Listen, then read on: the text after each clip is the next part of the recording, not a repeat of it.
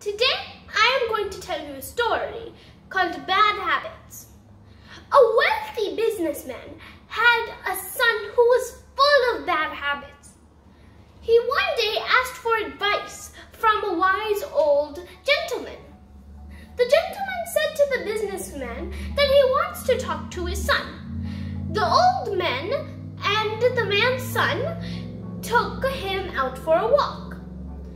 They walked into the woods and the old gentleman showed the boy a small seedling and asked him to pull it out. The boy did so with no help, and they went on. The old gentleman then asked the boy to pull out a little plant. The boy did that as well, with the least amount of effort. As they walked, the old gentleman asked the boy to pull out a bigger bush, which he did.